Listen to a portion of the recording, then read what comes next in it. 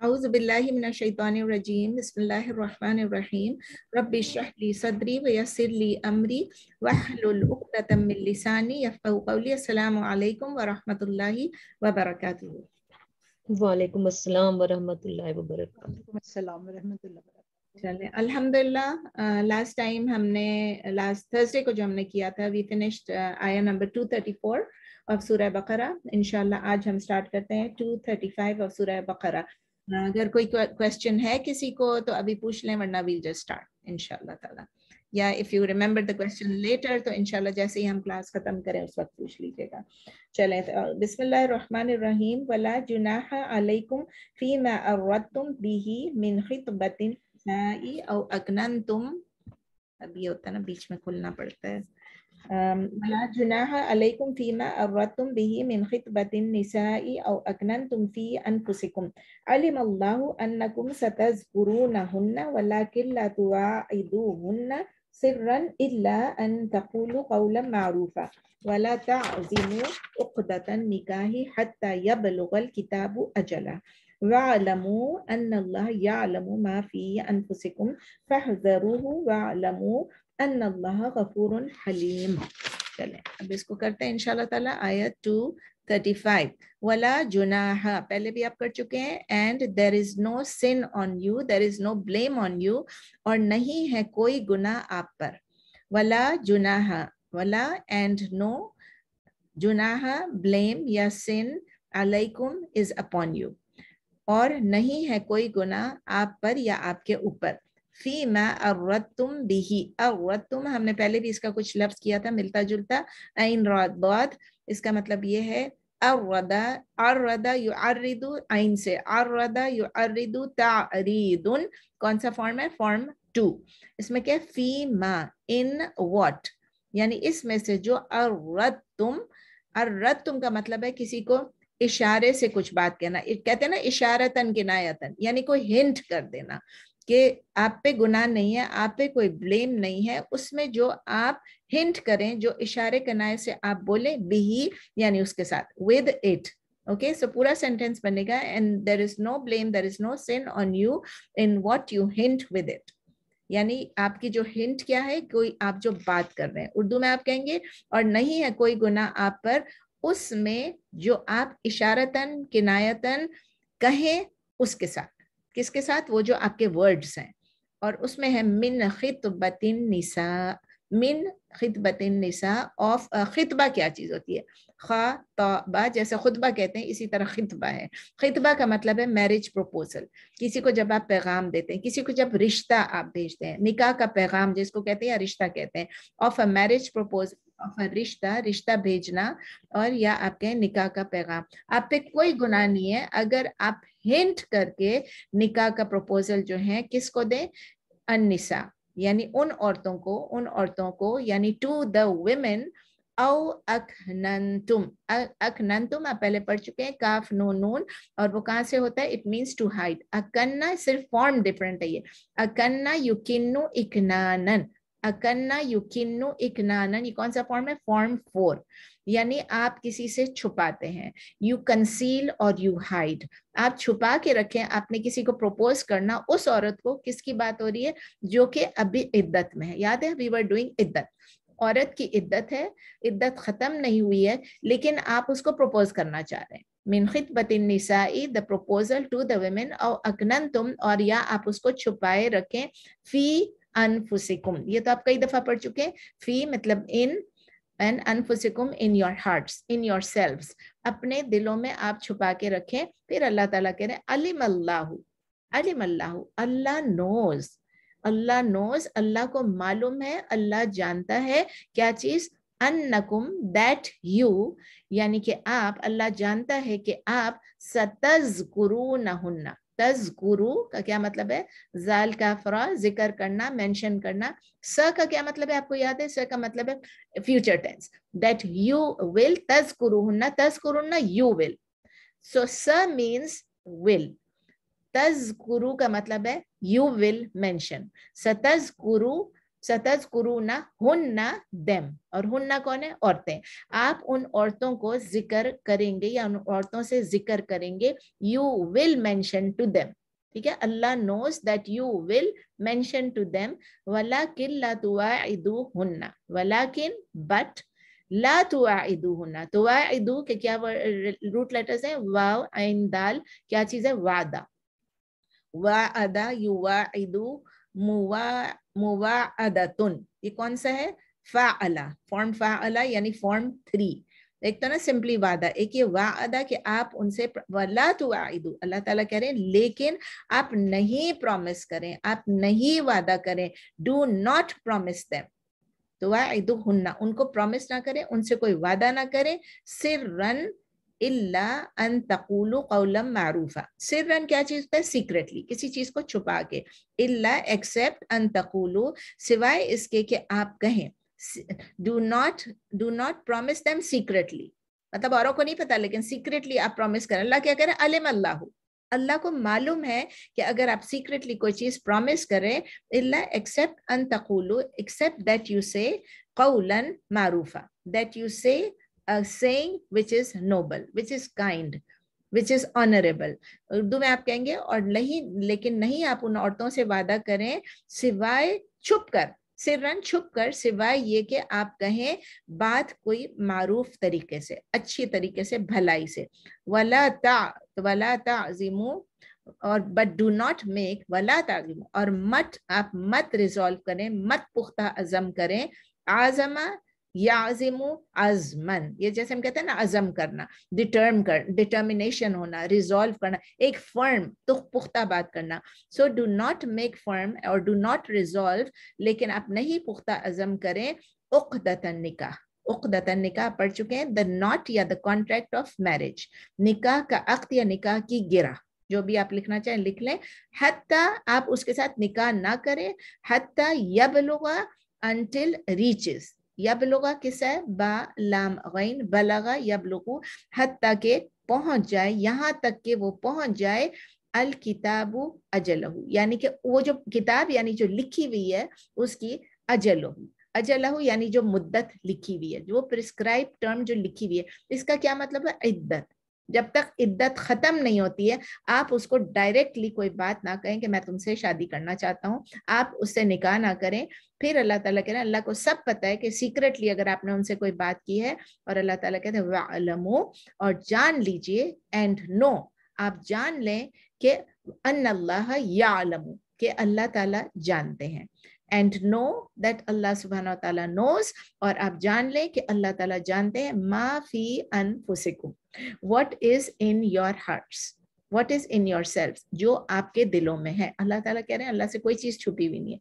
फह जरू फह जरू किसे है so beware of him fear him बस आप उससे डरे। किससे डरे? अल्लाह से डरे और इसका क्या हजरा यह जरू हजरन। अल्लाह ताला क्या करे? और डरो, यानी फेलुल अमर है। अल्लाह से डरो किस बात का? Be beware of Allah किस चीज़ का? कि आप अगर अपने दिलों में कोई चीज़ आपने रखी है सीक्रेटली कोई बात की है और फिर अल्लाह ताला कहते हैं वालमू और आप जान लीजिए and know an Allah that Allah is और अल्लाह है क्या चीज़? गफूर हलीम। गफूर भी आप पढ़ चुके हैं, हलीम भी आप पढ़ चुके हैं। गफूर क्या है? बहुत बख्शने वाला, गैन फारा जिस तरह गफिरा तो अल्लाह ताला बहुत बख्शने वाले हैं। और क्या है? हलीम। हलीम भी आप पढ़ चुके हैं हलाम यानी he is always for bearing जैसे रहीम के साथ ऑलवेज आता है, इसी तरह जब हहीम का लफ्ज आता है, हलीम, उसका मतलब ऑलवेज हमेशा बुर्दबारी करने वाले हैं अल्लाह ताला। बहुत बुर्दबार है, हमेशा बुर्दबारी करने वाले हैं, बहुत बर्दाश्त करने वाले हैं। ठीक है? तो अल्लाह ताला बर्दाश्त भी करता है, अगर आप कोई गलत काम करो, अल्लाह ताला जानता भी है जब आप कोई गलत काम करें। अब इस तफसीर इस आया की तफसीर भी थोड़ी बहुत सारा कुरान इंपॉर्टेंट है, लेकिन इसमें थोड़ी सी बातें समझने की ज़रूरत है। ये आयत जो आयत नंबर 235 ये काफ़ी कहते हैं ना इंसाइटफुल है। डीप इंसाइट है इसमें। बसीरत वाली है, बसीरत अंगेज है। And it is also sensitive sensitive कैसे हसास भी है। हसास क्यों है? क्योंकि इसमें लोगों की फीलिंग्स इन्वॉल्व होती हैं। और रूलिंग भी है। रूलिंग क्या है? दिस इज़ अ रूलिंग या हुक्म है। रूलिंग फॉर मेन उन मर्दों के लिए रूलिंग है who wish to marry a widow before the end of her waiting period अभी कोई बेवा हो गई है और ये सेम है, उसके लिए भी सेम है, अगर तलाक है, उसके लिए भी सेम है कि जो अगर किसी को इद्दत में कोई है, अगर, लेकिन यहाँ चूँकि हम बेवा का ज़िक्र कर रहे थे, कुरान बेवा के उस पर आया, पहले तलाक की बात की, फिर बेवा की बात की तो वो जो लोग किसी बेवा से शादी करना चाहते हैं before the end of her जिस, उसकी इद्दत खत्म होने से पहले तो उसमें अल्लाह ताला फरमा ले, एक रूलिंग दे रहे हैं, एक हुक्म दे रहे हैं, जिसको मानना ज़रूरी है। उसका मतलब ये फ़र्ज़ है कि आप इसको ओबे करें। कुछ चीज़ें होती हैं जो रिकमेंडेड होती है, ये फ़र्ज़ है कि it is it is permissible इजाज़त क्या चीज़ है? To hint at a proposal during the iddat लेकिन it is not permissible it is not allowed to explicitly propose अब एक्सप्लिसिट क्या होता है? एक्सप्लिसिट और इम्प्लिसिट इम्प्लिसिट में ये फ़र्क है कि एक्सप्लिसिट में आपके वर्ड्स बिल्कुल क्लियर लाउड है, ठीक है ना? लाउड है और आप ये कह रहे हैं कि मतलब इसके अलावा और कुछ नहीं हो सकता कि आप ये कह रहे हैं कि मैं आपसे शादी करना चाहता हूँ। यानी I want to marry you I will propose to you बिल्कुल क्लियरली बोल देना ये एक्सप्लिसिट है। इम्प्लिसिट का मतलब ये आप उसको इशारा किनारे से बोल रहे हैं हिंट दे रहे हैं मैं औरत ढूंढ रहा हूँ मैं ढूंढ रहा हूँ कोई लड़की एंड um, मैं शादी करना चाहता हूँ लेकिन ये नहीं कि मैं तुमसे शादी करना चाहता हूँ ओके okay? बात समझ में आ गई? सिंपल है डायरेक्ट प्रपोजल नहीं देना है इनडायरेक्टली कोई बात आप उसको कर सकते हैं या किसी और के थ्रू कहलवा सकते हैं कि वो बंदा भी ढूंढ रहा है। यू नो बहुत याद रखना है डायरेक्ट नहीं प्रपोज करना। है it is very wrong to propose directly while she is in the iddah और ये अल्लाह ताला ने क्यों ऐसा बनाया? किस चीज़ पर ये बेस्ड है? ताकि ये थोड़ी, इस कुछ प्रिंसिपल्स हैं। और अल्लाह ताला हमें कुरान के थ्रू प्रिंसिपल सिखा रहे हैं। नंबर वन डिसेंसी डिसेंसी क्या होती है उर्दू में? शाइस्तगी। महजब होना। डिसेंसी शाइस्तगी। और एथिकल एथिकल का क्या मतलब है? अखलाकी। और सोशल सोशल क्या चीज़ है? समाजी। यानी इसमें शाइस्तगी भी है, अखलाकी और समाजी वैल्यूज़ भी हैं, कदरें भी हैं और इसके साथ फीलिंग्स भी हैं। फीलिंग्स क्या होती हैं? एहसास जज्बात। और जितने लोग इसमें कंसर्न हैं, जो प्रपोज करने वाला है, जिसके लिए प्रपोज किया जा रहा है, जिसके लिए प्रपोज करें उसकी फैमिली उसकी फैमिली ये सब चीज़ें बहुत ज़रूरी कि उन सब की फीलिंग्स को भी देखा जाए ओवरऑल ये भी देखा जाए किसकी क्या इंटरेस्ट है कम्युनिटी में क्या इंटरेस्ट है कम्युनिटी की नीड क्या है, इस सबको सोच के कुरान हमको सिखाता है कि आप उस हद को पार ना करें। इस वेटिंग वेटिंग पीरियड में, इस इद्दत में, खासकर जो बेवगी के बात है, दो चीज़ें एक बहुत ज़्यादा ग्रीफ होता है बहुत ज़्यादा औरत जो है वो सैड होती है। ये उस औरत से पूछें कि जो बेवा होती है, उसको मालूम है कि बेवा होने के बाद क्या हाल होता है।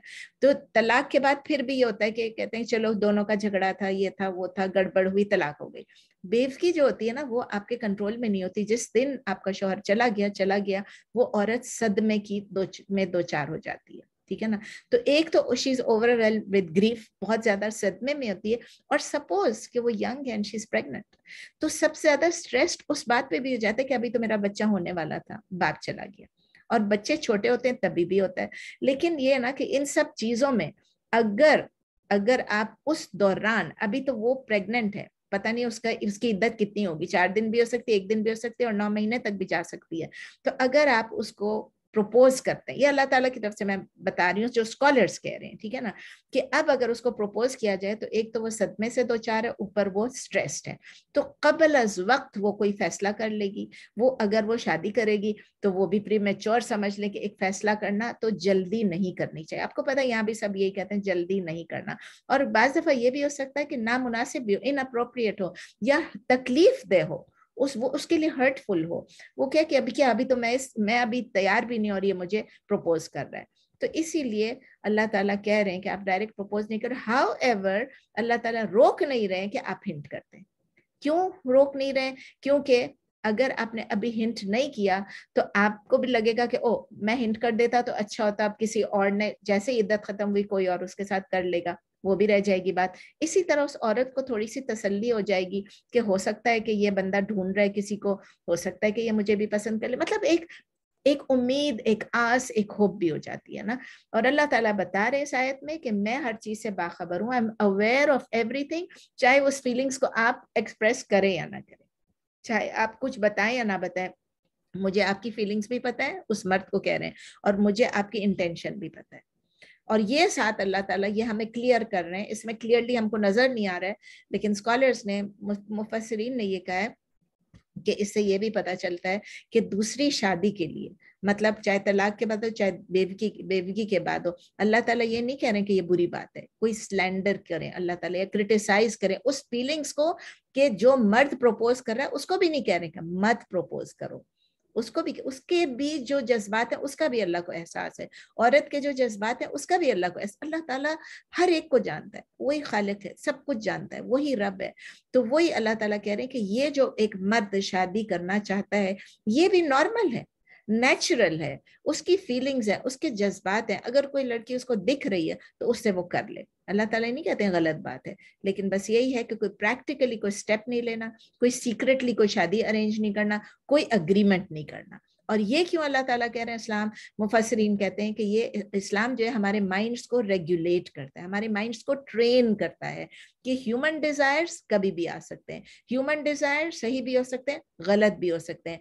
उन डिजायर्स को कंडेम भी नहीं करना है उनको सप्रेस भी नहीं करना है उनको प्रॉपर आउटलेट चाहिए। उन डिजायर्स को पूरा करने के लिए लीगल तरीका होना चाहिए, सुन्नत तरीका होना चाहिए, कुरान का तरीका होना चाहिए। तो देखिए, कुरान कितने ब्यूटिफुली कितने डेलिकेटली टच करता है इन सेंसिटिव इश्यूज़ को। सेंसिटिव टॉपिक्स को, अल्लाह ताला बड़े, अल्लाह ताला के जो चॉइस ऑफ़ वर्ड्स जो होते हैं ना सुबहान अल्लाह उनसे बेहतर कौन लिखेगा? वो इतने सिग्निफिकेंट होते हैं कि अगर हम एक एक, इसीलिए तो कहते हैं ना वर्ड फॉर वर्ड कुरान सीखो और अरेबिक को सीखो कि इससे इंसान को समझ आती है कि ये एक सिंपल एक, ये नहीं है रूलिंग वो अभी प्रपोज नहीं करना, अभी डायरेक्टली नहीं बोलना, इस तरह, हमारी तरह नहीं है। फीलिंग्स को देख के अल्लाह बताते हैं। और फिर अल्लाह ताला क्या कहते हैं? पूरे के पूरे मामले को एंटायर मैटर को अल्लाह ताला ने कहा कि अल्लाह ताला की ये ग्रेस है, अल्लाह की ये जेनरोसिटी है कि जो भी बंदा करे, उसमें वो अल्लाह से फियर करके करे। मतलब अल्लाह ताला बता रहे हैं ना कि तकवा इख्तियार करे रिस्पेक्ट से करे, जो भी काम करते हैं, चाहे वो किसी भी किस्म का काम हो। और अल्लाह ताला कह रहे हैं कि वो गफूर भी और हलीम भी, अगर आपने कुछ गलत कर भी दिया तो वो माफ़ करने वाले हैं एज लॉन्ग एज आपकी इंटेंशन अच्छी है। और हलीम है कि वो बर्दाश्त भी करेंगे। तो ये जो फियर और रिस्पेक्ट है ना, जो हम करते हैं अल्लाह से, ये अल्टीमेट गारंटी होती है अल्लाह की तरफ़ से। अल्लाह ताला कहते हैं, मैं गफूर भी और हलीम भी हूँ। कि अल्लाह ताला फॉरगिव भी कर देगा इनशाला और अल्लाह ताला टॉलरेट भी करेगा। हमारी नीयत सही होनी चाहिए और हम कुरान और सुन्ना के मुताबिक काम करें। अगर हम गलत काम करेंगे तो फिर हमें अल्लाह ताला से एक्सपेक्ट नहीं करना चाहिए कि अल्लाह ताला हमारे गलत काम पे हमें माफ़ कर देंगे। आय नंबर 236 ये भी बहुत इंपॉर्टेंट आयत है। ला जुनाह अलैकुम इन तल्लक़तुमुन निसा मा लम तमस्सुहुन्ना और तफरीदू लहुन्ना फरीदा। मूसी क़दरुहु व अलल मुक़तिरी क़दरुहु मताअम बिल मारूफ हक़्क़न अलल मुहसिनीन बड़ी प्यारी आयत है। इसमें अल्लाह ताला कह रहे हैं, ला जुनाह अलैकुम। आप कई दफ़ा पढ़ चुके हैं। There is no blame there is no sin upon you नहीं है आप पर कोई भी गुनाह। इन तुम इफ़ यू डिवोर्स अगर आप तलाक दें अनिसा यानी औरतों को मा लम तमसु हुन्ना। मा लम, अब ये माँ है, माँ मस्त, माँ मस्तरिया कहलाता है। यानी माँ है, ऐसे लगता है किसी चीज़ के मुतालिक है। कुरान में कई दफ़ा आता है, माँ लिखा होता है, अल्लाह के लिए भी माँ यूज़ हो रहा होता है और लोगों के लिए भी यूज़ हो रहा होता है। वरना तो क्या यूज़ होता है, लफ्ज? मन होता है ना। तो मा लम तमसु हुन्ना, के whom not you have touched तो ये एक एक मस्तरिया है, बस ये खाली उसको इंडिकेट कर रहा है कि जिसको आपने तम, लम तमसु हुन्ना। तमस्सु हुन्ना ये वर्ड आता है तमस्सु हुन्ना के रूट लेटर्स है, मीम, सीन सीन, मस, मीम, सीन सीन, इसका मतलब है टच करना। मस्सा, यमुस्सु, मस्सुन। मस्सा यमुसु मसुन कि जिनको आपने टच नहीं किया है, उन औरतों को जिनको आपने हाथ नहीं लगाया है। आगे मैं तफसीर में आपको डिटेल बताऊँगी इंशाल्लाह। Whom you whom not you have touch जिनको जिनको आपने नहीं हाथ लगाया है। औ तफरीदू लहुन्ना फरीदा औ या और तफरीदू फ़ारादात और फरीदा जो लफ्ज है उसका भी फ़ारादात है बस डिफरेंट उसकी समझे के तफरीदू यानी आपने उसके लिए कोई स्पेसिफाई किया है कोई चीज़ आपने फ़र्ज़ किया है किस चीज़ को फ़र्ज़ किया लहुन्ना for them you have specified for them Farida जो सेट जो स्पेसिफाई करना था फरीदा, जो फरीदा, ये दाल से नहीं, ये दौद से है। अगेन तब फरीदू और फरीदा दोनों दौद से हैं। इसका मतलब ये क्या स्पेसिफाई करना था? ऑब्लिगेशन जो थी। फरीदा, फर्द भी इसी से आता है दौद तो जो चीज़ फ़र्ज़ है, जो चीज़ फरीदा है, उस चीज़ को वो क्या चीज़ है? महर। औरत का मेहर अगर आपने, उस औरत को आपने टच नहीं किया है, आपका निकाह हो गया, आपकी शादी हो गई, लेकिन आपने उस औरत को टच नहीं किया, तब फरीदू लहुन्ना फरीदा, और आपने उसके लिए कोई महर भी स्पेसिफाई नहीं किया। यानी उर्दू में आप कहेंगे, और ना आपने उसका हक मेहर मुकर किया है। फरादा यफ यफ फरीदू फरदन। ठीक है? वही फ़र्ज़ का भी है, फरीदा का भी है, फरीदतन का भी है, तफरुदू, सब एक ही चीज़ है, ठीक है? वह मत्युन्ना मत्यु आप कई दफ़ा पढ़ चुके हैं, मता जैसे मीम ताइन so make provision for them उनके लिए आप फ़ायदा पहुंचाइए उनको। आपने उनको टच नहीं किया, आपका निकाह हो गया, आपने टच नहीं किया, और उसके बाद आपकी तलाक हो गई, और आपने महर भी मुकर नहीं किया। तो इसका इसका मत्ता युमत्तिउ तमतीअन। कौन सा ये हो गया? फॉर्म टू हो गया। मत्ता युमत्तिउ फअला है ना? मत्ता युमत्तिउ तमतीअन। फॉर्म टू हो गया। So make provision for them तो आप उनको, उन औरतों को फ़ायदा पहुंचाइए। अब अल्लाह ताला बता रहे कैसा फ़ायदा पहुंचाना है। आपका महरी मुकर नहीं हुआ था। अलल मुँह सी कदरू अला यानी अपॉन द मुँह वाव, सीन, आइन, यानी जिसकी जितनी वसत है उसके बराबर, ठीक है ना? कदर काफ, दाल रा यानी जिसकी जिसकी हैसियत है।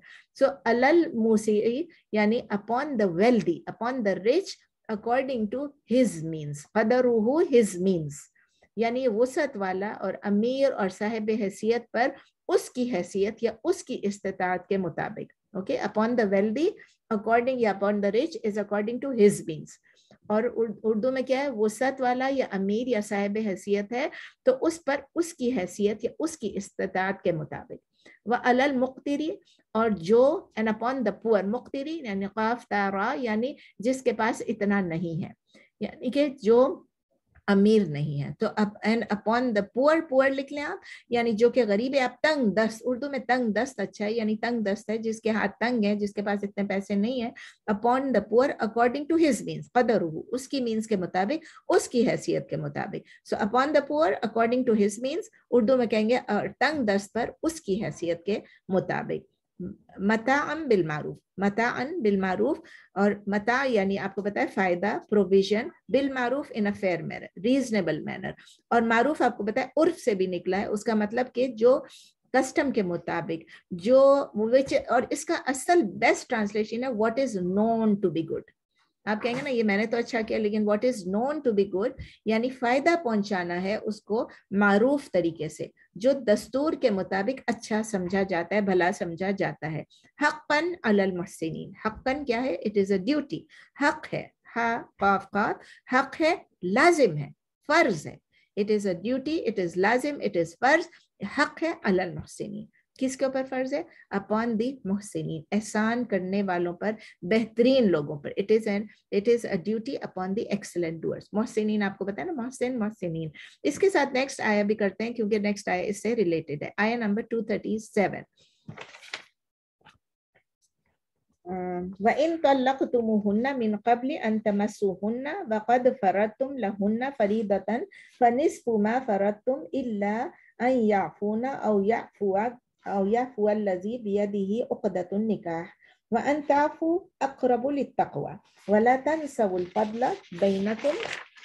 इन बिमा तामलूना बसीर ब्यूटीफुल आया अल्लाह ताला कह रहे हैं इन तलक़तुमुहुन्ना and if you divorce them अगर आप तलाक दें उन औरतों को मिन कबल बिफोर इससे पहले के अन तमस्सुहुन्ना कि आप उनको टच करें कि आप उन औरतों को हाथ लगाएं बिफोर यू टच देम कि आप उन, कब इससे कबल कि आप उन औरतों को हाथ लगाएँ।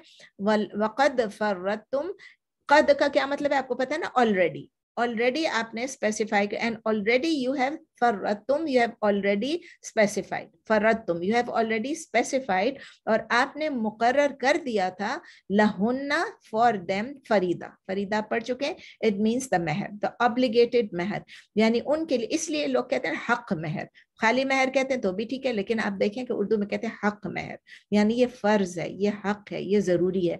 एंड ऑलरेडी अच्छा ये ज़रूरी नहीं है कि आपने उस वक्त एक्चुअल अमाउंट बता दिया हो कि ये महर है। लेकिन बोलना चाहिए कि उस महर के मुताबिक कि जो कि आप लोगों ने आपस में अग्री कर लिया है, बताना नहीं है ज़रूरी, लेकिन यह जो महर आपके दिलों में है, आप लोगों ने आपस में डिस्कस किया, वो ठीक है। तो बताना ज़रूरी नहीं है कभी कभी होता है एग्जैक्ट मुकर भी नहीं। देखिए, कुरान कह रहे हैं, अगर आपने मुकर भी नहीं किया है, लेकिन आपको पता है कि महर है ज़रूरी है, लेकिन आपने उसको स्पेसिफाई नहीं किया तो उसके बगैर भी निकाह हो जाता है। It's not the best thing to do लेकिन कुरान कह रहा है, उसमें भी गुंजाइश है, क्योंकि अगर आप मेहर उस वक्त मुकर कर देते हैं तो आप उसको, बीवी को दे भी सकते हैं। तो अब ये हुआ कि अब हम जिस आयत पे हैं, उसमें यही है कि आपने मेहर मुकर पहले हमने पढ़ा, मेहर मुकर नहीं किया था तो आप उसके साथ फिर भी अच्छा वो करें। जिसकी जितनी कदर है, जिसकी जितनी वसत है, जिसकी जितनी ताकत है, हैसियत है इस्तात है, उसके मुताबिक। और अब ये कि आपने ऑलरेडी महर मुकर कर दिया था, ये आयत उसके मुतलिक है कि वक़्त फ़रतुम and already you have specified आपने मुकर कर दिया लहुन फरीदा, उनके लिए हक महर को, फनिसफु मा फरतुम देन हाफ़ तो फिर निसफ होगा या आधा होगा मा फरतुम जो आपने स्पेसिफाई किया, जो आपने मुकर किया था ऑफ़ व्हाट यू स्पेसिफाइड यानी अगर आपने महर महर ये मुकर मुकर किया था कि इसको वन थाउज़ेंड डॉलर मिलेंगे। तो अब जब आपने उसको टच नहीं किया, रुखसती नहीं हुई है, आप लोगों आपका निकाह हो गया और उसके बाद तलाक हो गई और वन थाउज़ेंड था तो फाइव हंड्रेड उसका हक है कि आप उसको दें। आगे अल्लाह ताला कह रहे इल्ला और याफू अल्लजी बियदिही उक़दतुन निकाह। इल्ला एक्सेप्ट दैट दे फॉरगो यानी अगर आपने उसको टच नहीं किया, निकाह हो गया, लेकिन फिर भी अल्लाह ताला क्या कह रहे हैं? या आफू के आप माफ़ कर दें। आप उसको आधे महर के बदले पूरा महर, सिवाय अगर वो, पहले क्या था? सिवाय अगर याफूना के, नहीं सॉरी ये उस औरत के लिए, मा फर्रत वॉट यू स्पेसिफाइड उसका आधा दे एक्सेप्ट दैट दे फॉर याफूना, यानी वो औरतें माफ़ कर दें। वो औरतें माफ़ कर दें आफा आफा, याफू, आफवन। वो औरतें, याफूना एक्सेप्ट के वो औरतें जिन, जिनको मेहर मिलनी थी, वो अगर माफ़ कर दें, औ या फुअल्लजी बियदिही, या वो माफ़ कर दे और या फुअल्लजी यानी जिसको, और he forgoes the one who in his hands बियद ही उसके हाथ में, या वो माफ़ कर दे जिसके हाथ में क्या चीज़? उकदतुन्निका उकदतुन्निका किसमें हाथ, किसके हाथ में होता है? मर्द के हाथ में होता है। कॉन्ट्रैक्ट ऑफ़ मैरिज किसमें हाथ प्रपोजल कौन देता है? मर्द देता है। औरत भी दे सकती है, ये नहीं कि नहीं दे सकता है। कॉन्ट्रैक्ट ऑफ़ मैरिज जो है, तलाक देना किसके बस में? मर्द के बस में। औरत खुला ले सकती है दैट्स डिफरेंट इस वक्त हम क्लियर सिंपल तलाक की बात कर रहे हैं कि जिसके हाथ में, और या बेबकी की बात कर रहे हैं, जिसके हाथ में अगर नहीं, ये तो हम उसकी बात कर रहे हैं। ठीक है? मर्द को ने औरत को जो देना है, ठीक है ना? तो अगर निकाह सॉरी बेवकी की बात तो खत्म हो गई थी, मैं कहाँ पहुँच गई? दिस इज़ अबाउट कि अगर आपका निकाह हो गया है और अगर आपका क्या रुखसती नहीं हुई है मतलब आपका निकाह कॉन्सुमेट नहीं हुआ है मैरिज कॉन्सुमेट नहीं हुआ है, उस वक्त सॉरी मैं बेवकी का पहले बताया, मैं उसमें चली गई थी। तो अगर वो औरत माफ़ कर देती है कि ठीक है, आप मुझे आधा भी ना दें बस मैं ठीक हूँ, आप मुझे कुछ भी ना दें। या वो मर्द ये कहता है कि मैं, उसके हाथ में है तो वो ये कह दे कि मैं तुम्हें आधे के बदले पूरा देता हूँ। या मैं अब आपको तफसीर में बताऊँगी, इस वक्त आप इतना बस सिर्फ़ लिखें, जिसके हाथ में, वो माफ़ कर दे, जिसके हाथ में निकाह की गिरा है, ठीक है? उकदत निकाह निकाह का अक्त या निकाह की गिरा। Is the not, या the contract of marriage वन ताफू, अब अल्लाह ताला के वन ताफू, इफ़ आ गया वन and if you for, ताफू, you forgo अगर आप माफ़ करें, यानी पूरा मेहर अदा कर दें या जो भी करें, अगर आप माफ़ कर दें तो अल्लाह ताला कहते हैं, अकरबू तकवा इट इज़ अकरबू, इसम तफदील है, अकरबू इज़ क्लोजर टू तकवा, यानी तकवा के ज़्यादा करीब है। अल्लाह ताला, अल्लाह कॉन्शियसनेस से ज़्यादा so it is closer to Allah consciousness या आप ये भी कह सकते हैं it is closer to righteousness तो वो ज़्यादा करीब है तकवा के। फिर अल्लाह ताला कहते हैं, वला तन सब वला तन सवुल फदला। एंड तन सवा किसे आए नून सीन या नसिया। नसिया क्या होता है? टू फॉरगेट इंसान के भी रूट लेटर्स क्या है? नसिया। नीन, नून सीन या। क्योंकि इंसान फॉरगेटफुल होता है। वला तन सवु एंड डू नॉट फॉरगेट और आप ना भूलें नसिया यंसा निस्यानुन आप मत भूलें अल यानी काइंडनेस को, फजल, उर्दू में जब कहते हैं फजल को, एहसान को, नेकी को ग्रेशियसनेस को फेवर को, जो आप कह लें इंग्लिश में काइंडनेस ग्रेशियसनेस तो आप इसको ना भूलें डू नॉट फॉरगेट फजल बैनकुम अमंग योर आप लोग आपस में एक दूसरे के साथ फजल करना ना भूलें। इन अल्लाह इंडीड अल्लाह इज़ बेशक अल्लाह है, बिमा तामलूना बसीर। ऑफ़ वॉट यू डू यानी उससे जो आप करते हैं बसीर यानी कि खूब देखने वाला all seer all watchful Allah ताला खूब देखने वाले हैं कि आप क्या कर रहे हैं, दूसरे के साथ फजल करते हैं कि नहीं करते। तो ये दो आयतें हमने इकट्ठी पढ़ी, क्योंकि इसमें ये दो आयतें जो है, एक एक डिफरेंट लेकिन बहुत इंपॉर्टेंट सिचुएशन से डील करनी है। ऐसी सिचुएशन जिसमें औरत की डिवोर्स हो गई before the marriage was consummated normal क्या होता है? शादी होती है, शादी के बाद अगर कभी भी एक दिन बाद, दो दिन बाद, दस दिन बाद, दस साल बाद तलाक होती है। लेकिन यहाँ पर क्या हो रहा है? अल्लाह ताला ने हमें इन दो आयतों में ये बताया कि अगर कॉन्सोमेशन नहीं हुई है और शादी हो गई है, निकाह हो गया है, लेकिन तलाक हो गई। तो इसमें क्या है? ये बताता है कि दोनों पार्टीज़ की जो है, कुछ ना कुछ राइट्स है, कुछ ना कुछ हुकूक है, कुछ ना कुछ ऑब्लिगेशंस है दोनों पार्टीज़ की। और फिर अल्लाह ताला इसमें दो सिचुएशंस बता रहे हैं। दो सिचुएशंस पहली सिचुएशन अभी मैंने आप, आपने पढ़ा पहली आयत में उसमें क्या था? The first involve a woman who is divorce before her marriage is consummated and her mehr was not agreed upon उसका जो डावर था उसका जो मेहर था वो अग्रीड अपॉन नहीं था ठीक है ना? अल्लाह ताला ने वर्ड क्या यूज़ किया? तमसु हुन्ना मैंने आपको बताया टच मैंने जानबूझ के वहाँ पर ज़्यादा डिटेल में नहीं गई क्योंकि फिर तफसीर में मुझे पता था मैंने डिटेल बताना है। लिटरल मीनिंग क्या है? मस्सा या मुसो इसका मतलब है टू टच लेकिन इस कॉन्टेक्स्ट में, जब शादी के कॉन्टेक्स्ट में मियाँ बीवी की बात कर रहे हैं तो टच की बात होती है, ये क्या बात होती है? एक्चुअल मतलब ये होता है, इसको, इस कॉन्टेक्स्ट में मतलब है टू हैव सेक्सुअल रिलेशंस ठीक है ना? लेकिन आपको ये बात बताऊँ कि सिर्फ़ सेक्सुअल रिलेशंस नहीं होता है। हनफी, मालिकी और जो earlier views of the Shafi'i थे एंड द हम्बली स्कॉलर्स चारों मजाहब जो हैं, वो ये व्यू उनका ये व्यू है कि अगर डिवोर्स हो जाती है, एक औरत को before the marriage is is consummated लेकिन उनके दरमियान, मियाँ बीवी के दरमियान खलवा रहा।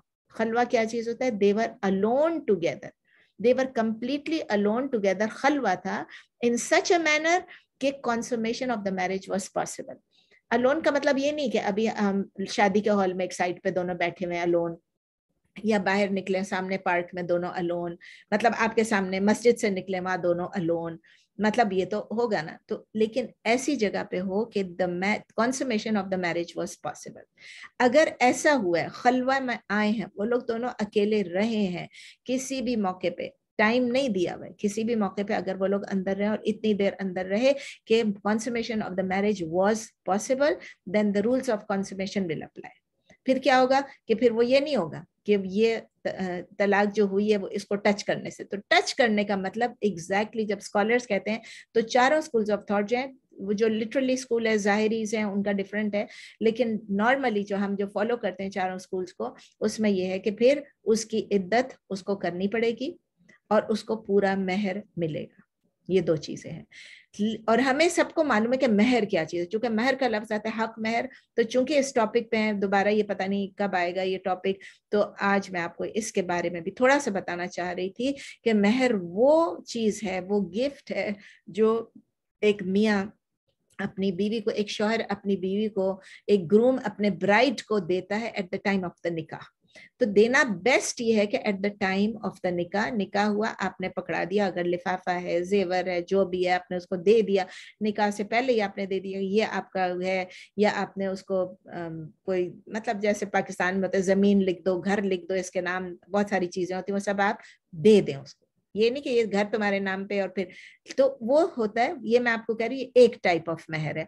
और इसको क्या कहते हैं? महर मुअज्जल। महर मुअज्जल यानी उजलत यानी जल्दी जल्दी दे देना and this is the best however it can be delayed मना नहीं है सही बात है और अग्रीड अपॉन है ये कि ये भी हो सकता है और वो क्या होता है गैर मुअज्जल आपने देखा इस वक्त भी है कि मेहर वॉज़ नॉट स्पेसिफाइड तो ये सब चीज़ें सही है, इजाज़त है, कर सकते हैं, लेकिन हर चीज़ की एक वो होती है ना कि एक बेस्ट होता है, एक उससे कम बेस्ट होता है। बेस्ट ये उस वक्त दे दें, अगर डिले हो गया तो कोई बात नहीं, अगर आपने मुकर नहीं किया तो भी कोई बात नहीं, कोई हराम चीज़ नहीं कोई मकरू चीज़ नहीं है, ठीक है? तो अगर डिले हो गया, दोनों स्पाउसेस ने एग्री किया कि ठीक है, मेहर बाद में देंगे। इट इज़ कॉल्ड क्या? गैर मुआजल यानी कि जल्दी में नहीं देना है, बाद में देना है। अच्छा मेहर देने का क्या मतलब है? ये नहीं मतलब है कि माँ बाप ने लड़की बेच दी और ये एक प्रोडक्ट थी कमोडिटी थी और इसको सेल कर दिया उन्होंने। रादर ये क्या चीज़ है? It is a symbol of honour honour and respect के आप ये एक औरत को इज़्ज़त दे रहे हैं और आप इसको ये बता रहे हैं एक औरत को, अपनी बीवी को, कि मैंने तुम्हें खरीदा वरीदा नहीं, ये मेरा गिफ्ट है तुम्हें और मैं विलिंग हूँ, मैं अपने दिल से, मैं ये आपको कहना चाह रहा हूँ कि ये मेरी गिफ्ट है आपको और मैं आपकी रिस्पॉन्सिबिलिटीज मैं फुलफिल करूँगा, मैं अपनी ड्यूटीज़ आपकी तरफ़ करूँगा। ये आपका ये आपका हक है और मैं आपको दे रहा हूँ। अच्छा और फिर ये औरत की मर्ज़ी है। जिस तरह से अगर पैसे, जिस तरह से मर्ज़ी स्मेल स्पेंड करे और अगर उसका जेवर है, जिस तरह मर्ज़ी जैसे यूज़ करे, जो भी करे it is her property it is her thing इस पे मुझे मैंने डॉक्टर मुजम्मिल सिद्दीकी का आर्टिकल पढ़ा और मुझे बहुत पसंद आया तो मैंने कहा, मैं थोड़ी सी चीज़ें कल ही मैंने पढ़ी और मैं इसमें चीज़ें मैंने इसमें ऐड की हैं कि इस इशू पे वो कहते हैं पूरा नहीं मैंने आर्टिकल किया, लेकिन थोड़ी सी चीज़ें कि according to the sharia a mahr should be reasonable हम सबको मालूम है कि महर रीजनेबल होना चाहिए। लेकिन खासकर डॉक्टर सिद्दीकी ने के आर्टिकल में था इट शुड बी रीजनेबल और फिर उन्होंने लिखा है, जो कि हम सबको शरिया के रूल्स हैं, बिल्कुल करेक्ट उन्होंने लिखे हैं कि there is no fixed amount of Mahar in शरिया शरिया को फिक्स्ड अमाउंट नहीं है। हमारी कम्युनिटी में जो होता है जैसे पाकिस्तान में जैसे मेमन कम्युनिटी है हमारी तो जैसे हम जेतपुर वाले हैं तो वो जेतपुर वाले ये कहते हैं कि बस इतना मेहर होना चाहिए अगर आप जेतपुर वाले हैं। वो कम्युनिटी का जो एक एसोसिएशन है, उन्होंने फिक्स किया। तो कहते हैं, इससे ज़्यादा ना दे, ताकि गरीब भी उतना दे, अमीर भी उतना दे। अगर समझे कि पाँच सौ रुपए तो पाँच सौ दे, गरीब भी दे, अमीर भी ताकि ये ना हो कि किसी की हतक हो रही है, किसी की बेजती रहे ओ, ये अमीर था, इसने उन्होंने अपनी मर्ज़ी से रखे हैं लॉज इट डजेंट मीन के ये शरिया के लॉज है। So there is no fixed meher according to the sharia it should be given according to the ये भी उन्हीं का मैं भी कोट कर रही हूँ it should be given according to the financial status of the husband and according to the time and place अब वो भी ये भी उन्होंने लिखा है कि we cannot apply the meher of the 17th century sorry seventh century seventh century का है और हम जाके अब अपना जाके ट्वेंटी सेकेंड सेंचुरी में हम अप्लाई कर रहे हैं या twenty first twenty first century में हम टू टू बोला तो ट्वेंटी से। तो ट्वेंटी फ़र्स्ट सेंचुरी में हम अप्लाई करेंगे। नहीं नहीं वही महर होना चाहिए जो नबी वसल्लम के ज़माने में था या जो कि सेवन सेंचुरी तक था। सो so, ना हम ये कर सकते हैं कि भाई पाकिस्तान में तो महर पाँच सौ रुपये तो यहाँ पर हम या पता है दो हज़ार रुपए तो हम इसको वन डॉलर रखेंगे या जो भी रखेंगे ये भी नहीं आप कर सकते ठीक है? पाकिस्तान का महर पाकिस्तान पे अप्लाई होगा इंडिया का महर इंडिया में अप्लाई होगा टिम्बकटू का महर जो है टिम्बकटू में अप्लाई होगा। हर कंट्री के फाइनेंशियल कंडीशन जो है, एक तो ये है कि डिपेंड करती है कंट्री से कंट्री प्लेस टू प्लेस और फिर ये भी है कि डिफरेंट टाइम्स में वेरी करती है, और उस बंदे के फाइनेंशियल स्टेटस पे वेरी करती है।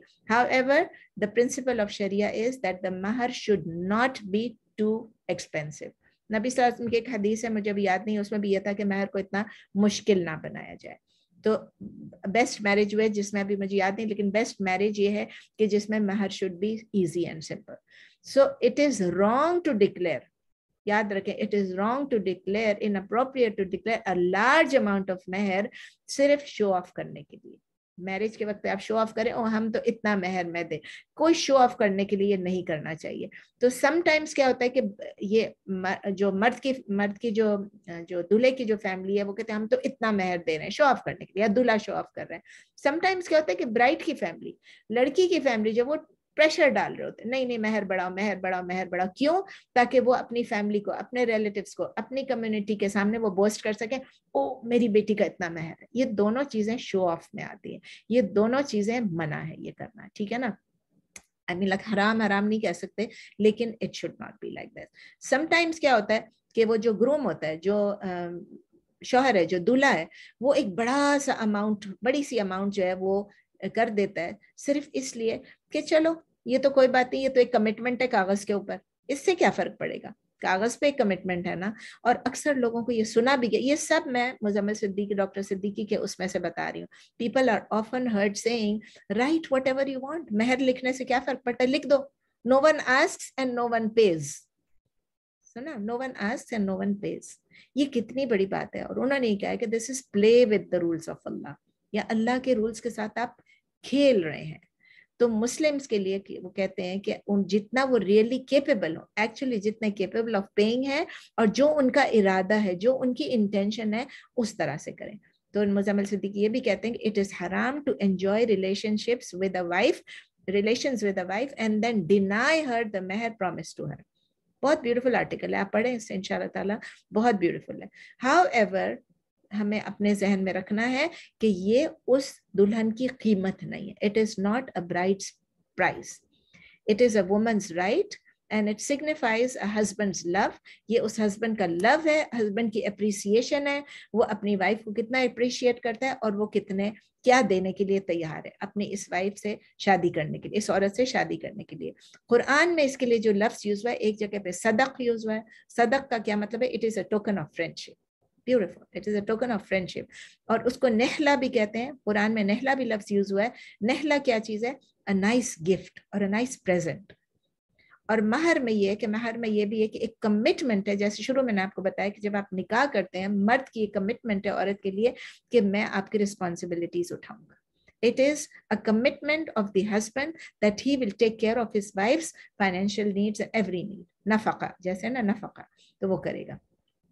कमिंग बैक टू आई नंबर 236 अब ये डॉक्टर सिद्दीकी का छोड़ के अब मैं, चूँकि मैं थोड़ी डिटेल में चली गई थी महर पे एंड आई एम श्योर इंशाल्लाह आप सब बेनिफिट करेंगे because I benefit from this article तो कमिंग बैक टू आई नंबर 236 कि वो जो डिवोर्स्ड कपल है, उनका अगर खलवा नहीं हुआ था, अगर वो अकेले नहीं थे इतनी मुद्दत के लिए ऐसी जगह पे जहाँ वो अपनी सेक्सुअल रिलेशंस को कंप्लीट uh, कर सके तो ये आया जो है रूलिंग्स ऑफ़ दिस आया विल अप्लाई खलवा नहीं हुआ।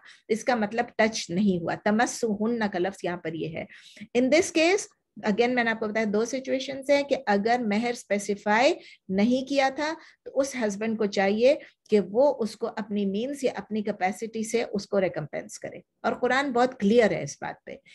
If he is rich, he should give according to his status. If he is not rich would try, he should try his best कि whatever he is able to वो उस औरत को दे। The size of the mehr जो है, वो जितना चुके मेहर नहीं स्पेसिफाई हुआ था तो उस मर्द की डिस्क्रिप्शन पे है। वो जो मर्ज़ी अब स्पेसिफाई करे और उसकी कॉन्शियंस पे भी। उसका जमीर उसको क्या बोलता है? उसका तकवा उसको क्या सिखाता है? और क्या वो एहसान करना चाहता है कि नहीं चाहता है? तो the point is if he wants to be among the mohsin उस मर्द को अगर वो मोहसिन होना चाहता है तो वो इस वक्त एहसान करे। और एहसान उर्दू वाला एहसान नहीं, अरबिक वाला एहसान। ये वो इतना बेहतरीन तरीके से करे, इसका मतलब है meaning to do your best ठीक है ना? तो ये इस जेस्टर से क्या होगा? जब ये वो ऐसा करेगा तो उस औरत पे जिसको उसने तलाक दी है, उसको टच भी नहीं किया, उसकी मैरिज आप सोचें कि निकाह हुआ और मैरिज कॉन्सुमेट होने से पहले उसकी तलाक होगी, उसको क्या कितनी, उसको क्या फील होता होगा? उसके हालत क्या होती होगी? क्या साइकोलॉजिकल इम्पैक्ट उस पर होगा? कितनी डेवस्टेटेड होगी? तो उस मैरिज को जो डिजोल्व हो गई बिफोर इट हैड बिगन ये जेस्टर जो है, उसके लिए बहुत उसको ऊँचा वो देगा कि देखो मैं, ठीक है, हमारी शादी कॉन्सुमेट नहीं हुई, मेरा निकाह मतलब टूट गया, सब कुछ हो गया, लेकिन एटलीस्ट इसने मेरी कदर तो की ना। बहुत फ़र्क पड़ता है इसे हमें नहीं समझ में आता, हम कहते हैं इतने पैसों से क्या फ़र्क पड़ेगा? लेकिन उस औरत पे असर होता है, ठीक है ना? इट्स रियली गुड तो सेकेंड सिचुएशन क्या थी? मैंने आपको बताया था नेक्स्ट टाइम में कि द हक मेहर जो है वो अग्री हो चुका था। इसमें तो बहुत क्लियर है, कोई ज़्यादा लंबा चौड़ा डिस्कशन नहीं है कि half the mehr must be paid for the wife unless unless लिखा हुआ है कि वो औरत या उसका वली वो चूज़ करें कि हम माफ़ करते हैं विदाउट एनी प्रेशर उस पर अगर प्रेशर डाल दिया, हराम हो गया। वो मर्द या मर्द की फैमिली उस पर प्रेशर ना डाले कि तुम अपना मेहर छोड़ दो which is normally the case तुम मेहर छोड़ दो, तुम मेहर छोड़ दो, क्यों इसको तुम कर रही हो? बेचारा कैसे देगा? नहीं, ये नहीं है। आपने अगर मेहर मुकर किया था, आप वो मेहर दें, चाहे आप उसको फेजेस में दें थोड़ा थोड़ा करके दें उसको किस्तों में दें, लेकिन आप उसको दें। अगर वो औरत उसके पास, अगर समझो कि जो पावर ऑफ़ लॉ है, वो ये कह रहे कि नहीं, तुम्हारी डिसीज़न है, तुम अगर इसको माफ़ करो तो ठीक है, जैसे आपको पता है कत्ल के केस में भी होता है तो अगर तुम्हारे तुम्हारे तुम्हारे फेवर में लॉ है, तुम जो करोगी वो होगा। तो उसके पास अगर ये लॉ भी है, उसका साथ दे रहा है, और वो उसको पूरे पैसे ले सकती है या आधे पैसे ले सकती है, पूरे तो नहीं, चूँकि कॉन्सुमेट नहीं हुआ तो आधे पैसे ले सकती है, लेकिन वो डिक्लाइन करते हैं। ये उसकी खूबी है, उसकी बड़ाई है, ठीक है ना? तो अल्लाह ताला फिर कहते हैं कि ये सब किस चीज़ से, ये जितना भी कोई टॉलरेट करेगा मतलब अल्लाह ताला फिर अपना नाम भी बता रहे हैं तो जो अगर हम में से जो टॉलरेट कर सकता है, जो बर्दाश्त कर सकता है, जो जिसकी, जो इस, इसकी अल्लाह का जो फियर है अल्लाह का जो फियर है, वो उसके दिल में है। तकवा है अल्लाह का और अल्लाह की बड़ाई उसको मालूम है और वो खुद एहसान करना चाहता है। He wants to be benevolent और he wants to be merciful and he wants to do something good और द बेस्ट एहसान करे या रहम करे या फजल करे on the part of all involved तो ये है, कुरान कहता है कि सबको अल्लाह का तकवा इख्तियार करना है और बर्दाश्त करना है और सही फैसले करने हैं जिसमें सबके लिए बेहतरी हो। इस आयत से हम क्या सीख रहे हैं? हम ये सीख रहे हैं कि एट ऑल टाइम्स इसमें लिखा हुआ नहीं है क्लियरली लेकिन एट ऑल टाइम्स स्पेशली देखें, अब एक मर्द और एक औरत को अपने दोनों को अपने दोनों का लिखा ना, दोनों के फजल का लिखा, दोनों के माफ़ करने का लिखा they should treat treat each other fairly and nicely and justly at all times fair होना है जस्ट होना है फेयर होना है ठीक है ना? और बेहतरीन ट्रीटमेंट करनी है। और हम ये भी सीखते हैं कि इवन जब आप शादी में इकट्ठे रहते हैं तो भी आप बेस्ट करें। और ये तो आप देखें, शादी कॉन्सुमेट भी नहीं हुई है, लेकिन इवन अगर आपको पार्ट करना है, आपने उसके साथ अच्छा वक्त नहीं भी गुजारा है, लेकिन तभी भी you should deal in the best way चाहे वो मर्द हो, चाहे वो औरत हो। हम ये भी सीख रहे हैं इस आयत से कि हक, महर जो है, वो एक ड्यूटी है एक हस्बैंड की कि वो अपनी वाइफ को पे करे। तलाक तक रुके भी नहीं, उसी वक्त पे करे, लेकिन अगर नहीं पे किया तो एटलीस्ट अगर तलाक होती है तो उसको पे कर दे। अगर हस्बैंड इस इस कमांड को, इस रूलिंग को, इस हुक्म को नहीं ओबे करता है तो क्या होगा? वो गुनागार होगा। इट इज़ अ फ़र्ज़ जिस फ़र्ज़ को पूरा नहीं करे, जैसे नमाज़ अगर छोड़ देंगे तो क्या होगा? रोजा छोड़ेंगे तो क्या होगा? इसी तरह अगर हक, मेहर भी बहुत इंपॉर्टेंट है। अगर वो ना पे करे तो वो गुनागार होगा। फिर हम ये भी सीखते हैं कि अगर हस्बैंड चाहे तो वो उसके साथ उसको माफ़ करे, उसको आधे मेहर के बदले पूरा मेहर दे सकता है। ये भी हमने सीखा है। हमने ये भी सीखा है कि औरत जो है, अगर वो चाहे तो वो उसके, अगर उसके उसके उसके अगर कानून भी उसके साथ है तो भी वो ये कहे कि हम मेहर जो है, वो मैं छोड़ दूँगा। उस मेहर छोड़ दूँगी वो। मेहर भी छोड़ दे, या जितना अग्री किया था, उससे कम ले ले। तो हम सब ये सीख रहे हैं कि ये सब किस तरह होगा जब एक बंदा जो है तकवा इख्तियार करेगा, अल्लाह ताला की कॉन्शियसनेस उसके दिलों में होगी और उसका कैरेक्टर जो है वो एक्सीलेंट होगा, यानी वो महसिन में से होगा। इसके बाद है आया नंबर टू थर्टी एट हाफिजू अला सलावाती वुस्ता, वक़ूमु लिल्लाहि क़ानितीन।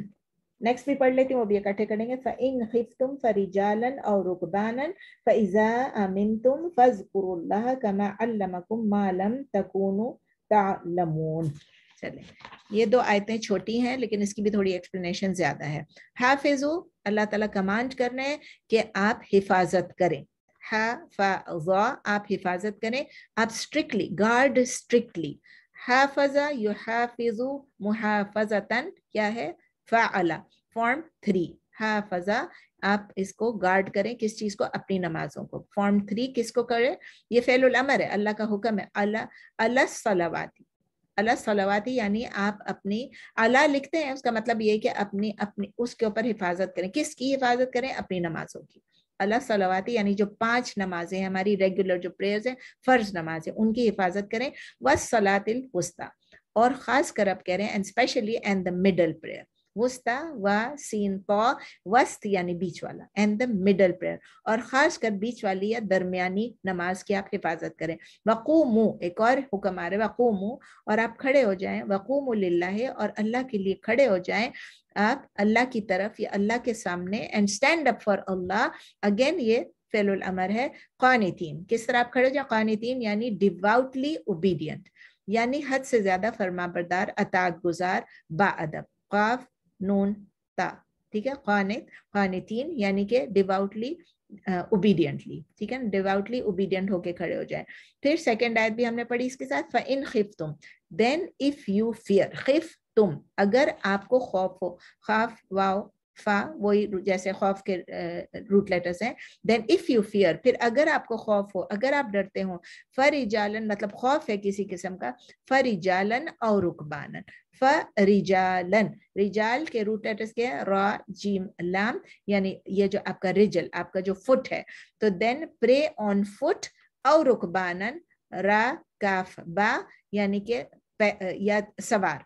राकिब यानी सवार, आगे मैं आपको फिर एक्सप्लेन करती हूँ। देन प्रे ऑन फुट और राइडिंग तो आप पढ़े पैदल या सवारी पर। सवार होके पढ़े या पैदल पढ़े। अगेन फेलुल अमर है, अगर आपको खौफ है। फ़ैज़ा अमिन तुम and then when you are safe अमिन तुम जब आप अमन में हो जाए, जब आप पीस में आ जाए when you are safe secure when you are in peace आमना नहीं अमना या मनु अमनुन अमना या मनु अमनुन। आमना तो ईमान था ना? अमना अमिन। अगर आप अमन में हैं, अमना या मनु अमनुन। अगर आप अमन में है पीस में है सिक्योरिटी में है सेफ्टी में फ़र्स्ट कुरुल्लाह then remember Allah then mention Allah. तो आप अल्लाह को याद करें, अल्लाह का ज़िक्र करें। जकर यस्कुरु जिक्रन। अगेन फेलुल अमर है। कमा अल्लमकुम मालम तकुनु तालमुन। Just like kama just like allamakum, he taught you. Who taught you? Allah taught you. जैसा कि उसने सिखाया आपको अल्लामा युअल्लिमु तालीमन क्या है? फॉर्म टू मालम तकुनु तालम what not you were knowing जो आप नहीं जानते थे, आलिमा यालमु इल्मन। आते हैं इसकी तफसीर पे, दोनों आयतों की। अल्लाह ताला ने पहले हमको सारा तलाक के बारे में बताया, उसकी सब चीज़ों के बारे में बताया, तलाक के वक्त, मेहर के देने के बारे में बताया। ये पूरी अल्लाह ताला ने क्या बताया? ये तमाम चीज़ें सबमिशन की। अल्लाह ताला कहते हैं, तकवा ज़रूरी है कॉन्शियसनेस ज़रूरी है। इसके बाद अचानक तलाक की बात बेवगी की बात करके, तलाक की बात करते करते ये दो शॉर्ट आयात बीच में आई हैं, जबकि अभी डिवोर्स की और बातें आने वाली हैं। बीच में अल्लाह ताला ने एक ऐड कर दिया इंटरप्ट कर दिया, दाखिल कर दिया, मुदाखलत कर दी किस चीज़ की? एक एक और एस्पेक्ट थी। कौन सा एस्पेक्ट नमाज़ की। और हम सबको मालूम है कि नमाज़ क्या चीज़ है? It is the main act of worship in Islam नमाज़ हमारे इस्लाम की बुनियादी रुकन में से है कि वो हमें नमाज़ पढ़ना ज़रूरी है। पहले नमाज़ है, फिर रोजा, जक़ात सब कुछ है।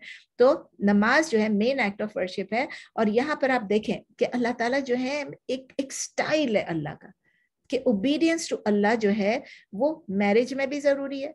डिवोर्स में भी ज़रूरी है और इतना ही ज़रूरी है जितना के काबिल एहतराम आप समझें रिस्पेक्टेबल है या कमेंडेबल है आप समझें, काबिल तारीफ़ और काबिल एहतराम है देन द प्रेयर इट्स मतलब it is no less no less respectable no less commendable then the prayer it's beautiful कि हम समझते हैं नमाज़ बहुत ज़रूरी है, लेकिन शादी में और तलाक में जो मर्ज़ी कर लो। अल्लाह ताला बता रहे वो भी मेरे ही लॉज है, वो भी सुनना ऑफ़ द प्रॉफिट है, उसमें भी फ़र्ज़ है, उसमें भी महर का है, उसमें भी विटनेस का है, उसमें भी एक निकाह का है, वो कॉन्ट्रैक्ट का है। तो अल्लाह ताला बता रहे हमें कि किस तरह इस्लाम में जो कॉन्सेप्ट ऑफ़ वर्शिप है, जो इबादत है, वो किस तरह कॉम्प्रिहेंसिव है। टोटल हारमनी हर चीज़ में इबादत का मतलब है हर एक्टिविटी हर एक्टिविटी जो हम करते हैं, वो किस तरह होना चाहिए, जिस तरह अल्लाह चाहते हैं। हर एक्टिविटी शादी में हमने निग्लेक्ट नहीं करना है। और अल्लाह ताला सूरह अजारियात में बोलते भी हैं, वमा खलक़तुल जिन्ना वल इंसा इल्ला लियाबुदून।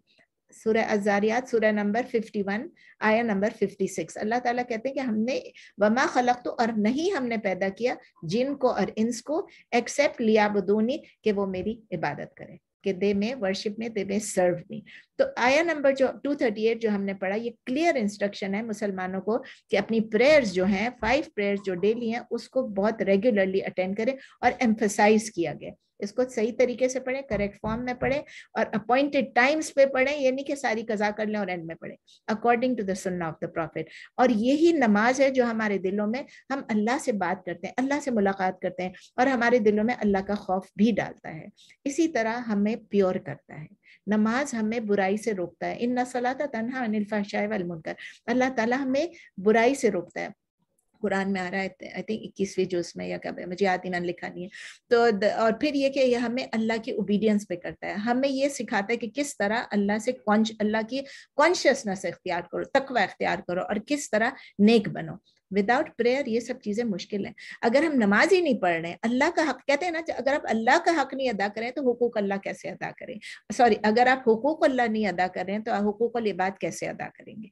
बहुत सिंपल सी बात है। हुकूक अल्लाह पहले आता है, हुकूक इबाद आता है। दोनों चीज़ें साथ साथ चलती हैं। अगर आपने नमाज़ अच्छी तरह पढ़ी तो शायद आप बाकी लॉज भी अच्छी तरह करो। अब आप ये मुझे कहेंगे कि बहुत सारे लोग हैं जो नमाज़ पढ़ते हैं लेकिन झूठ भी बोलते हैं, ये भी करते हैं, शादी में भी गड़बड़ करते हैं। हाँ होता है। लेकिन ये क्या चीज़ है? एक डेविएशन हो गई है। डेविएशन कैसे हो गई है?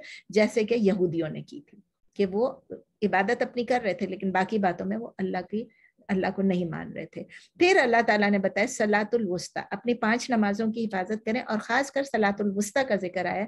सलातुल वस्ता एक ऐसी चीज़ है जिसमें डिफरेंस ऑफ़ ओपिनियन है among scholars difference of opinion बहुत ज़्यादा थी अप्रोक्सीमेटली ट्वेंटी ओपिनियंस थी। हाफिज इबन हजर जो है, उन्होंने ये कहा अल्फत बारी में उन्होंने कहा फतल बारी में उन्होंने कहा कि बीस ओपिनियंस थी, लेकिन उन बीस ओपिनियंस में से जो टू स्ट्रॉन्ग ओपिनियंस हैं, उसमें से भी एक ज़्यादा रिकमेंडेड है, एक कम रिकमेंडेड है, वो जो टू स्ट्रॉन्ग ओपिनियंस उस है, उसमें से एक ये कि सलातुल वस्ता का मतलब है फजर का, फजर की नमाज़। और ये व्यू कुछ लोगों की थी, अनस की थी, अबू उमामा रदी अल्लाह अनहुम, जाबिर रदी अल्लाह ताला कुछ थे उबैदा इब्न उमैर, अता इकरिमा, मुजाहिद, और ये सब थे and these were the two views of Imam Ibn Umar and Ibn Abbas. Important views हैं, इसलिए हम ये नहीं कह सकते कि ये व्यू गलत है।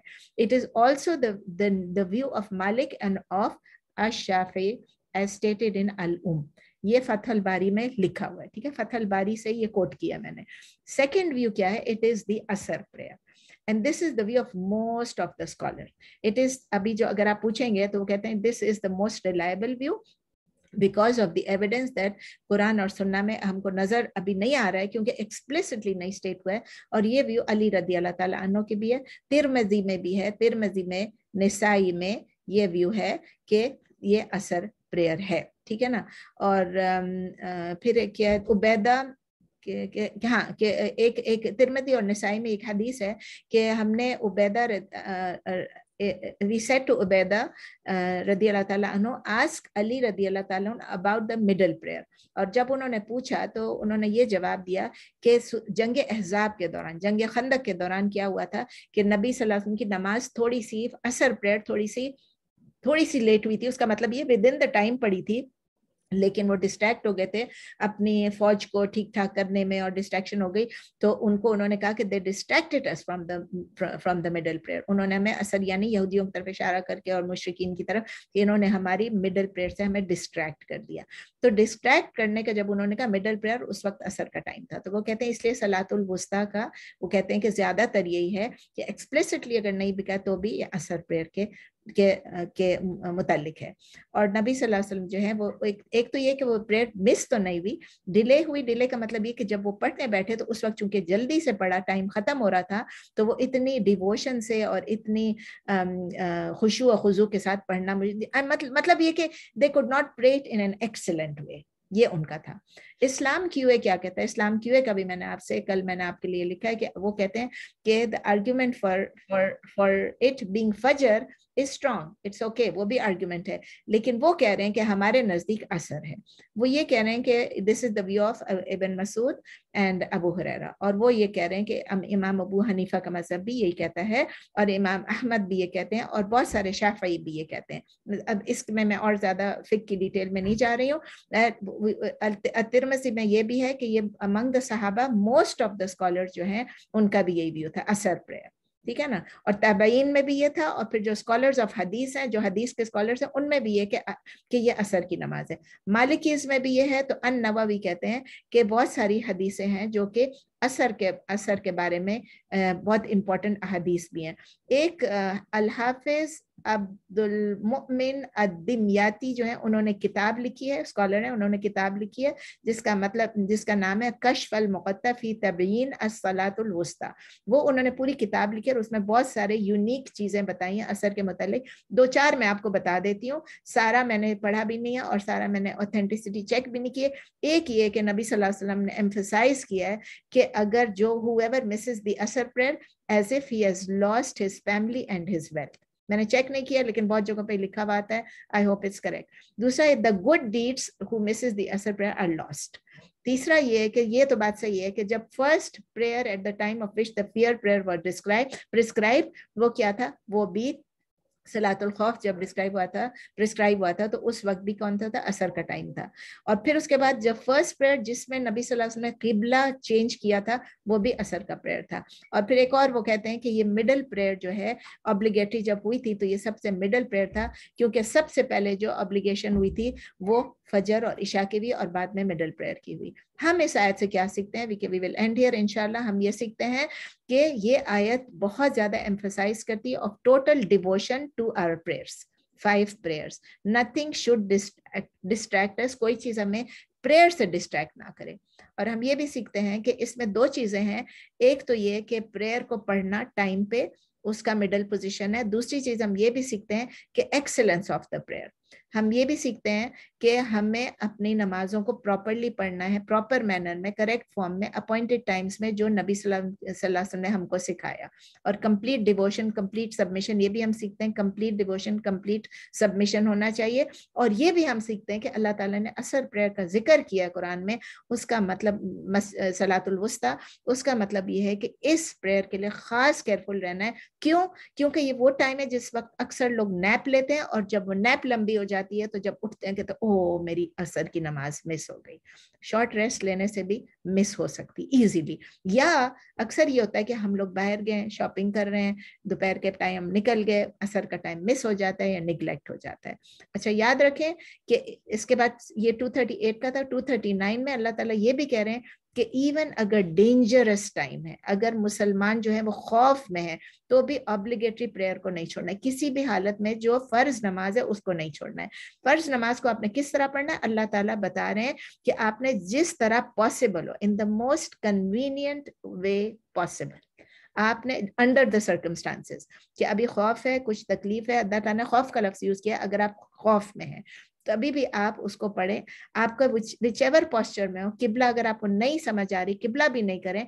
आप अगर चल रहे हैं तो चलते चलते और अगर आप सवार हैं तो सवार। आपको याद है? दो वर्ड्स अल्लाह ताला ने यूज़ किया कुरान में, रिजालन एंड रुकबानन। रिजाल मैंने आपको बताया क्या चीज़ है उसके? रूट लेटर्स है रा जीम अलाम और उसका क्या मतलब है? जो प्लूरल ऑफ़ रिजालन प्लूरल ऑफ़ राजिल यानी कि someone who is walking on foot आपको बताया जो पैदल चल रहे हैं। और रुक बानन, मैंने आपको बताया राकिब राकाफबा उसका मतलब ये एक बंदा जो किसी चीज़ पे सवार हो अ पैसेंजर या अ राइडिंग ये रूल किस वक्त अप्लाई होती है कि जब फाइटिंग एक्चुअली ब्रेकआउट हो गई हो, जंग शुरू हो गई हो, या एनिमी की अटैक जो है वो इट इज़ फोर्थ कमिंग यानी हमला होने वाला है। लेकिन जब आप सेफ्टी में आ जाए, अल्लाह ताला ने क्या किया? जब आप अमन जब आप आप आप सेफ्टी में आ जाए सिक्योरिटी में आ जाए तो फिर ये नहीं है कि अब मैं चलते फिरते गाड़ी में पढ़ लूँ, सवार पढ़ लूँ, खड़े होके पढ़ लूँ, नहीं। तब आपका पोस्चर सही होना चाहिए इन द नॉर्मल वे जिस तरह नबी सल्लल्लाहु ने सिखाया है, उनकी सुन्नत है नमाज़ पढ़ने की। बहुत सारे लोग ये सवाल पूछते हैं I just remembered before I finish the last thing तो उसमें बहुत सारे लोग पूछते हैं कि क्या हुआ? अगर हम बैठे बैठे गाड़ी में नमाज़ पढ़ लें नबी सल्लल्लाहु ने ये नहीं सिखाया। नफल नमाज़ है, सुन्नत नमाज़ है, खौफ के आलम में है तो आप पढ़ लें। हमें खौफ का आलम तो नहीं होता है, गाड़ी में हम बैठे हुए हैं। और हम लोग जब गाड़ी में, अपनी गाड़ी में, हम अपनी गाड़ी को रोक के नमाज़ पढ़े, जहाँ भी, कहीं भी, साइड पे रोके, कुछ भी रोके, नमाज़ का टाइम ऐसा तो नहीं है ना कि पाँच मिनट में आपकी नमाज़, बस टाइम पाँच मिनट का, उसी पाँच मिनट में पढ़ना है। नहीं, आपके पास टाइम होता है। हर नमाज़ के लिए कम अज कम एक घंटा, डेढ़ घंटा तो टाइम होता ही है ना। और ज़्यादा भी होता है। तो आप अपने आराम से, आप जहाँ भी मौका मिलता है एग्जिट ले लें, कुछ भी ले लें, किसी रेस्टोरेंट पे चले जाएँ, कहीं चले जाएँ, कितनी दफ़ा तो हम स्टार बक्स पे पढ़ते हैं, कितनी दफ़ा स्टेशन पे पढ़ते हैं, कितनी दफ़ा घास पे उतर के पढ़ते हैं कर्ब्स पे पढ़ते हैं। अल्हम्दुलिल्लाह हम लोग ऐसी जगह पे रहते हैं कि हम कहीं भी उतर के नमाज़ पढ़ सकते हैं। अगर स्नो हो तो अलग बात है। कैलिफ़ोर्निया में नहीं है, लेकिन कैनेडा वालों के पास स्नो है और कहीं स्नो है तो वो थोड़ा हट के किसी शेल्टर पे जाके पढ़ सकते हैं। कितने तो एग्जिट्स आते हैं, कितने तो बीच में हाईवे पे भी हैं तो कितने, और हाईवे पे तो आप दो नमाजें कंबाइन कर सकती है ना। लेकिन नमाज़ आपने उतर के नॉर्मल वे में पढ़ना है जब आपकी अमन की हालत हो, ठीक है ना? तो ये जो रूलिंग्स है ना, ये आप याद रखें, ये वो रूलिंग्स है जो कि खौफ की हालत है। लेकिन ये वो रूलिंग्स नहीं है जिसको सलातुल खौफ कहते हैं। ये सलातुल खौफ नहीं है, सलातुल खौफ आएगी, सूरह निसा में पढ़ेंगे इनशाला जो कि एक्चुअली बैटल फ़ील्ड के अंदर, ठीक है ना? जो कि एक्चुअली बैटल फ़ील्ड के अंदर है वो सलातुल खौफ है, वो डिफरेंट है, वो एक एक नमाज़ का एक डिफरेंट तरीका है। इसमें ये आपको जैसे कन्वीनियंट लगे सर्कमस्टांसिस में तो हम क्या सीख रहे हैं इससे हम इस आयत से ये सीख रहे हैं कि अल्लाह ताला ने हर नमाज़ को बहुत ज़्यादा इंपॉर्टेंस दी अभी भी मैंने आपको बताया था, और किसी भी हालत में नमाज़ को निग्लेक्ट नहीं करना है नो मैटर कितनी भी डेंजरस या थ्रेटनिंग सिचुएशन हो।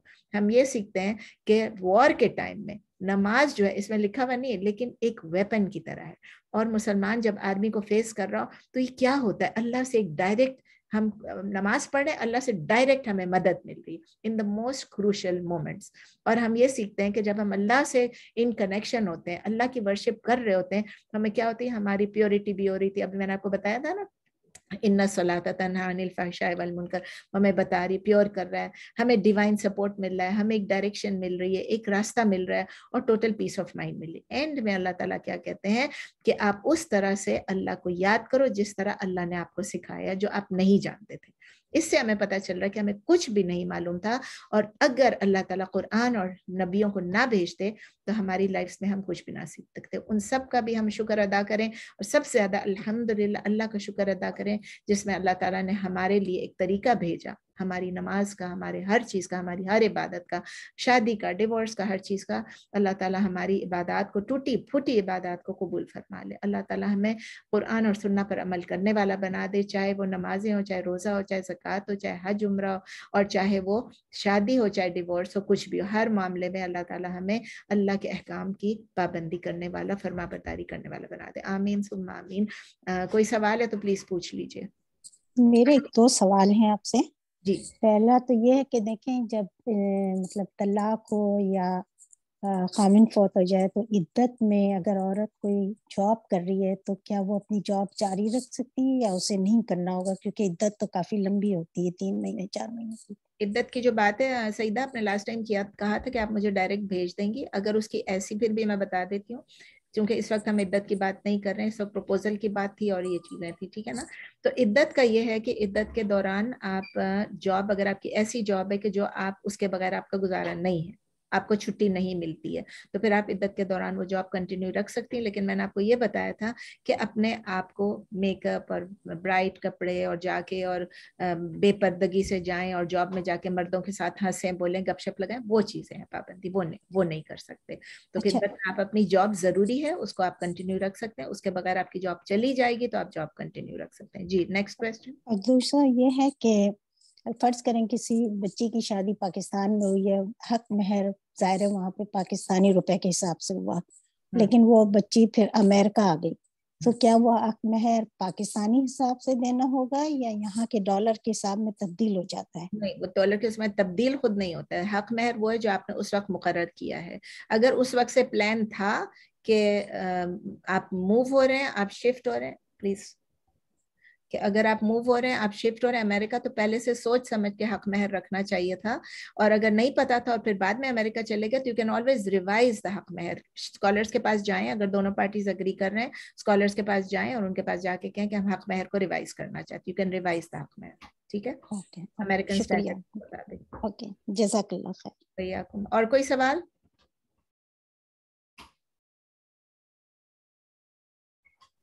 ये किताबुल अजला मींस किताब यानी जो प्रिस्क्राइब्ड जो कि लिखी हुई है जो कि मुकर्रर की हुई है अजला यानी मुद्दत टर्म अजल यानी टर्म अजल जो उसकी जो टर्म है यानी जो इद्दत एक्चुअली इट मींस इद्दत बस।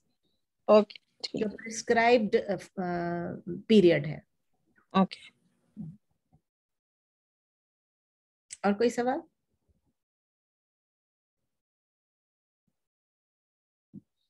तो मैं आपको ये बताना चाह रही थी इनशाला ताला मैं आपको रिमाइंड भी करा दूँगी कि इनशाला ताला इस थर्सडे को मैं ट्रैवल कर रही हूँ फ्रॉम टोरंटो टू कायरो इनशाला तो मैंने आपको जैसे लास्ट टाइम भी हिंट दे दी थी कि प्लेन में बैठ के मेरे लिए क्लास लेना पॉसिबल नहीं होगा, वरना मुझे तो यही दिल चाहता है कि जहाँ भी हूँ, हवा में हूँ, फिजा में हूँ स्पेस पे हूँ मार्स पे हूँ, मैं क्लास लूँ। अल्लाह ताला कबूल कर ले अल्लाह ताला को हमारी नीयतों का भी पता है अल्लाह ताला को हमारे एक्शंस का पता है। तो अल्लाह ताला हमारा जो कुछ भी हम करें कबूल कर ले और दुआ करें कि अल्लाह खैर आफियत से हमें पहुँचा दे जहाँ जहाँ ट्रैवल करना इंशाल्लाह।